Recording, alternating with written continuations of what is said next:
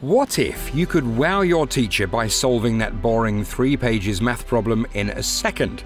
Or how will it feel like if you could devise your own next generation computer that can multitask at the speed of light?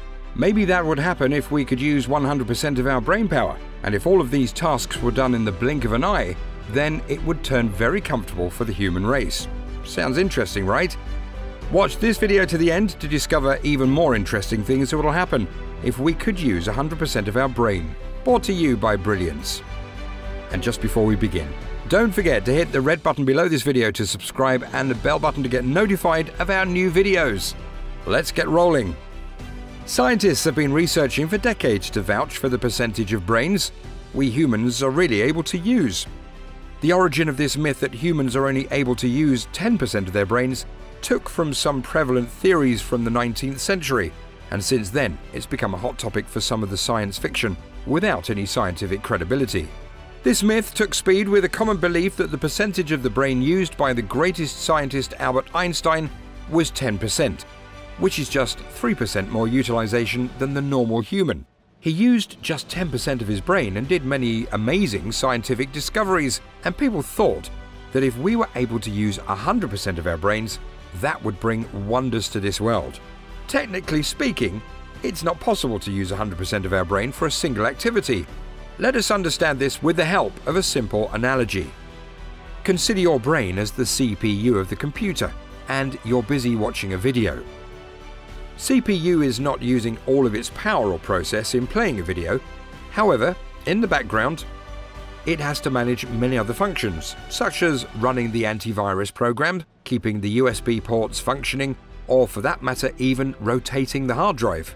Similarly, when you're watching a video just as you're doing now, your brain performs many other functions for the body, such as keeping your lungs breathing, maintaining your heartbeat, helping your eyes to see the video, or helping to digest your food. So, scientific studies have concluded that maybe only 10% of your brain would be focusing on seeing that video, while the remaining 90 would be busy in performing other basic processes of your body.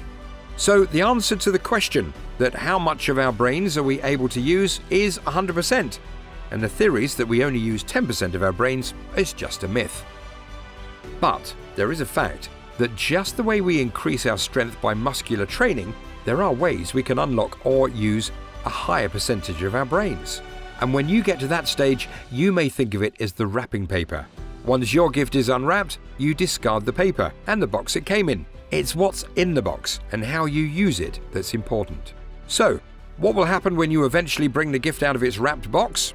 Obstacles start dissolving. Obstacles are those circumstances where we feel stuck, trapped, impaired, and can't flow forward in life. As we increase our brain's potential, we don't have problems. We just have creative solutions.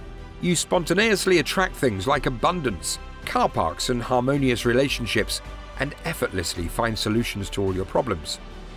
Oneness. As we open up regions of the brain and dissolve the experience of separation with other entities, one actually feels how they would feel because they're connected through the field of oneness. And just as you have a finger, a hand, an ear, a toe, and they all look different and have different functions, if you hit your toe, your entire body feels it. At 100% brain capacity, separation dissolves and one merges with the unified field. Increased creativity. The eureka feeling we get when we discover new ideas can be traced back to an ancient Greek scientist named Archimedes, who was tasked with figuring out how to determine whether a crown was made of solid gold or gold mixed with other metals without breaking the crown. He actually discovered the solution while he was taking a bath. Archimedes noticed that the water level of the bath changed as he got in and out of the tub. He realized that he could calculate the volume of an object by submerging it in water, which is especially helpful for objects with irregular shapes, such as crowns. Like to have more of Archimedes' discovering? Then we need more of that brain power. And there you go. Things that could happen when you begin to use 100% of your brain's capacity.